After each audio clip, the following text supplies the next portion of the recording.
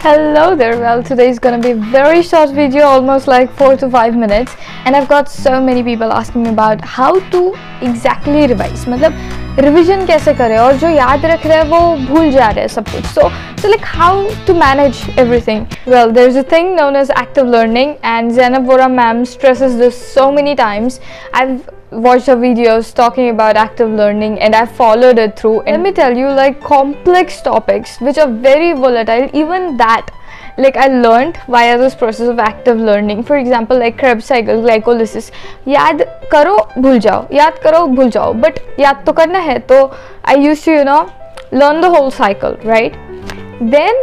what then do other things then the next day just take a blank sheet of paper it should be blank and बस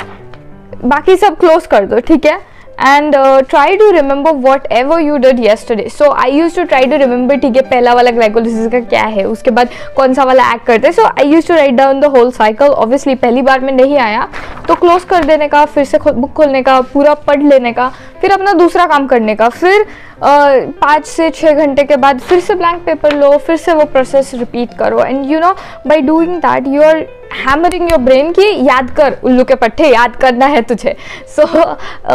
like that you know जिस दिन आप ये blank paper पे पूरा का पूरा जो भी आप आपने रिवाइज किया था वो पूरा लिख पाते हो। सो so, उस दिन आपकी जीत है and try it it will work out i'm telling you it is gonna work out scientifically also it can be proved by the fact that you know you're uh, writing down so you're forcing your brain to use that information to retrieve the information again and again again and again so obviously आपका वो neural pathway strong हो जाएगा और आपको लंबे समय तक वो चीज़ याद रहेगी so do follow it and uh, like share subscribe like always and i hope this helps you do let me know if it helps you and it should help you so please follow it bye